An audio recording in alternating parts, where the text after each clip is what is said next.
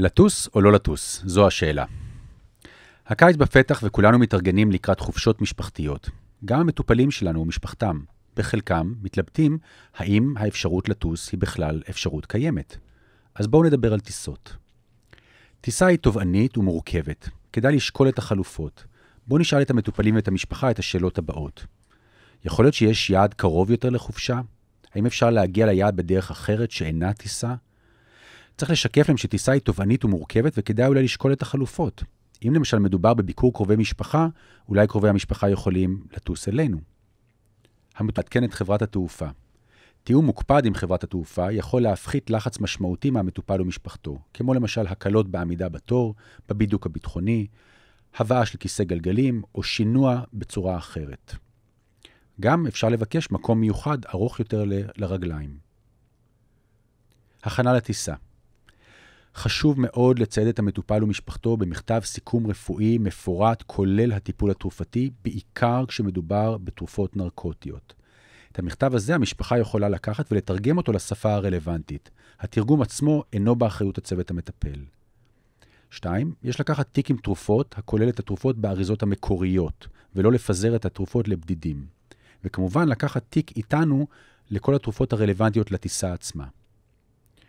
חשוב להבין, יש שינויים פיזיולוגיים משמעותיים שקורים בטיסה. כמו למשל תנאי לחץ האוויר הקיימים בטיסה, יכולים להקשות על אנשים חולים, בעיקר על אלו הנוטים למצוקה נשימתית. מומלץ להחזיק את ערכת עזרה ראשונה, שכוללת אופיאטים, משתנים, סטרואידים ובנזודיאזפינים. מערכות גוף מושפעות ממצבי הטיסה. לב ריאה, לחץ ברומטרי נמוך מגביר את ההיפרוונטילציה, קושי נשימתי, חרדה, בצקת ריאות. בנוסף, מטופל עם המוגלובין נמוך מ-8.5 גרם עלול לגרום לאי ספיקת לב או הפרעות ריאתיות. מומלץ לשימוש נשימתי בחמצ... כיצד מושפעות מערכות הגוף השונות ממצב הטיסה?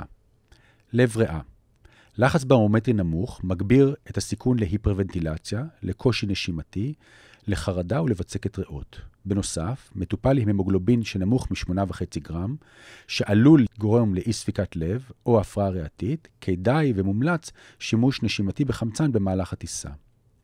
מערכת העיכול לחץ ברומטרי נמוך מגביר את הגזים בחללים השונים בגוף בכדי 30%. לכן חולה שעבר התערבות כירורגית לאחרונה, במיוחד כזאת שהייתה בלפרוסקופיה, מחויב לקבל אישור מהמנתח. מערכת כלי הדם לחות נמוכה והיעדר ניידות מגבירים את הסיכון לפקקת ורידית ובצקת היקפית. שימוש בגרביים אלסטיות ולעודד תנועה עד כמה שניתן יכול להפחית את הסיכון הזה.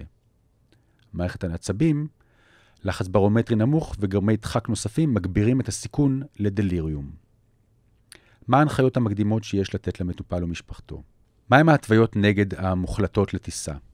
לאחר אירוע רפואי חריף או פרוצדורה רפואית חריפה, רצוי להמתין לפחות עשרה ימים לפני הטיסה. במצבים כמון, כגון התקף לב, במצבים עם תמת ריאתי עם דלף אוויר, מטופל הזקוק ליותר מ-4 ליטר חמצן בדקה, אחרי תעוקת חזה, עם מחלה מסטמית סימפטומטית וחמורה, או חסימה ידועה במערכת העיכול, כשאין גסטרוסטום.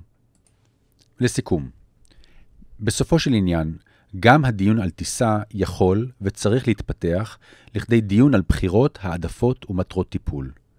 כל עוד המטופל ומשפחתו מבינים את הסיכונים הרבים שכרוכים בטיסה, עד כדי האפשרות למוות, ועדיין בוחרים לטוס, עלינו לעודד אותם ולספק להם את מלוא הכלים המאפשרים להם לעבור חוויה משמעותית ומשמחת.